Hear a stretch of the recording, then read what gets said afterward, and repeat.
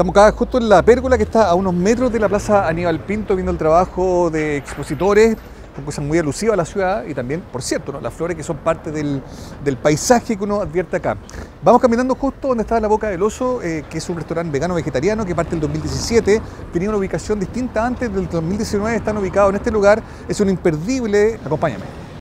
Ya, nos encontramos entonces acá en el frontis, en la puerta de ya lo decíamos, ¿no? La boca del oso con la Caro Marín, que es como la osa mayor, tú decías, ¿no? Como la, la iniciadora, la fundadora. Cuéntanos la historia, ¿por qué la boca del oso? Bueno, la boca del oso nace eligiendo a un animal de poder soñador y que tenía una dieta bien singular porque aparte de comer pescado, casi lo único de los animales que come frutas, hortalizas, raíces, semillas, entonces como era muy compatible a la dieta que teníamos nosotros en ese entonces. Bueno, estamos ubicados en Almirante Mon 51 junto a la pérgola de las flores. Trabajamos de lunes a domingo y del jueves a sábado con horario de tarde con recetas muy caseras y de la abuela, cerveza artesanal, kombuchas locales y unas empanadas veganas y vegetarianas que son realmente y completos también, ¿no? Estoy viendo de completo italiano. Sí, integramos ahora los completos. Buenísimo. Es la invitación entonces que hace la Caro, muchas gracias Caro, para conocer este lugar también imperdible dentro de este mismo sector que ella misma describía, tiene alta cohesión, tiene alta identidad y tiene también un vínculo muy potente con el público de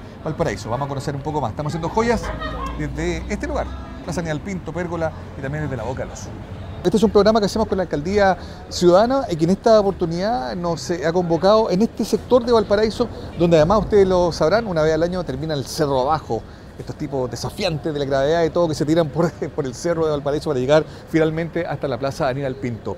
Nos pueden seguir en Instagram, pueden ver también todos nuestros reels en la cuenta de Joyas de Valparaíso. Nos vemos en la próxima. Gracias por estar ahí.